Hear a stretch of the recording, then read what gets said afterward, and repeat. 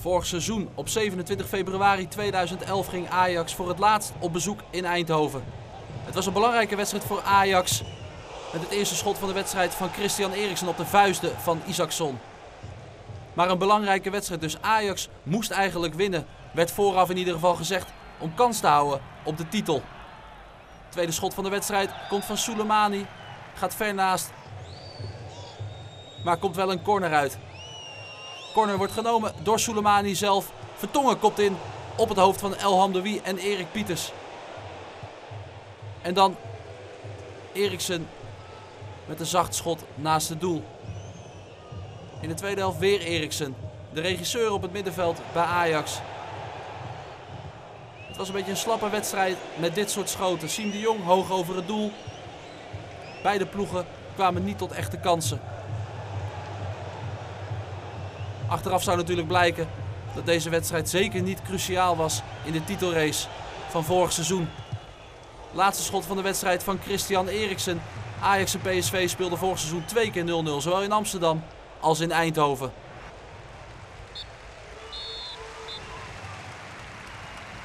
In de historie kwamen PSV en Ajax elkaar 55 keer tegen in Eindhoven. 28 keer won PSV, slechts 13 keer won Ajax en 14 keer werd het gelijk. Het doelsaldo is ook in het voordeel van PSV 110 om 77. De laatste zege van Ajax dateert uit 2007. Toen werd het 5-1 voor de Amsterdammers. Ook in 1989 won Ajax, toen werd het 1-4. En het is een treffer weer van Aaron Winter. 11e minuut en Ajax neemt verrassend de leiding. Richard Witsche. Oh! En ja, Pettersson. Maar wat een schitterende actie ook van Richard Witsche.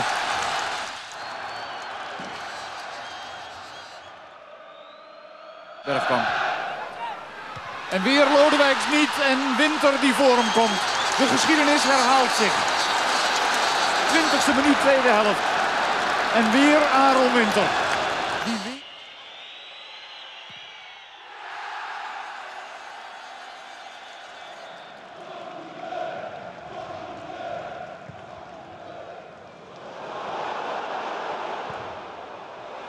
Na 1989 kwam een lastige periode voor Ajax in Eindhoven. Tussen 1989 en 2007 werden er van de 17 wedstrijden 11 verloren en 5 gelijk gespeeld. Zoals hier in 2000 toen het ondanks deze mooie goal van Nikos Maglas 1-1 bleef.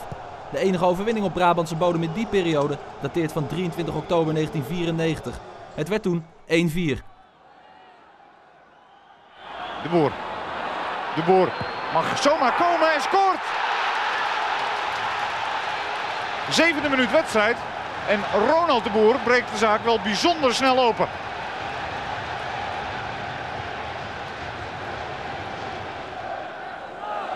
Van de voet van Wouters de bal tot bij Ronald de Boer.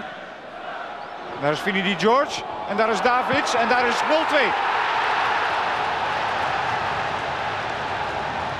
14e minuut.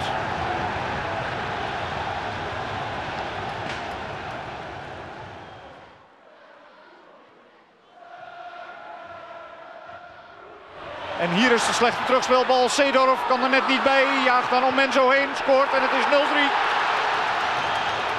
Ook nog net binnen het kwartier.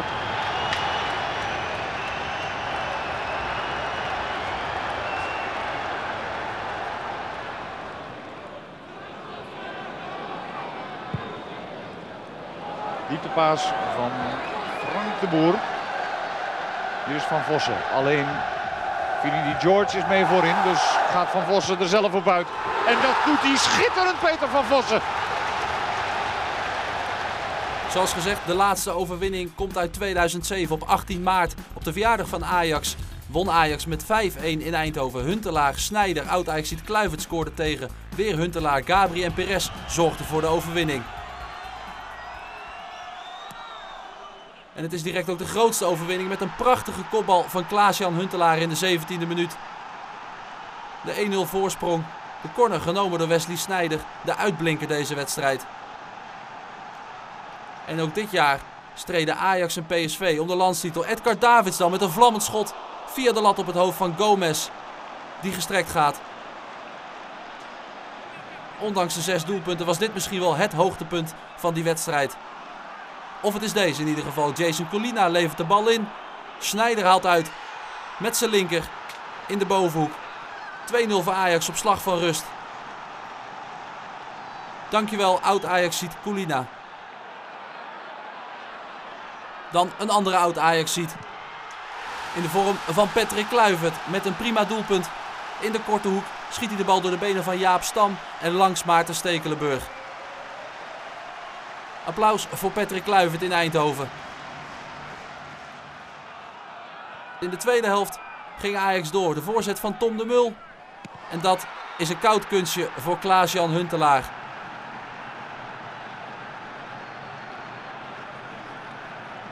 Een dramatisch jaar was het voor Ajax op de slotdag, waar het één doelpunt tekort kwam voor de landstitel. Maar in deze wedstrijd werd er veelvuldig gescoord. Gabri, De Mul, Huntelaar. Goede combinaties. Bal lijkt kwijt te zijn. Gabri verovert hem terug. En schiet de bal voor de vierde keer deze wedstrijd langs Gomez.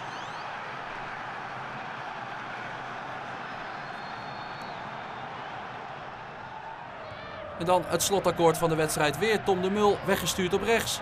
Perez staat met zijn arm in de lucht te zwaaien. Krijgt ook de bal. En plaatst hem beheerst langs Gomez. 5-1 werd het dus in 2007 voor Ajax. En wellicht komende zondag volgt er een herhaling. Als Ajax weer op bezoek gaat in Eindhoven.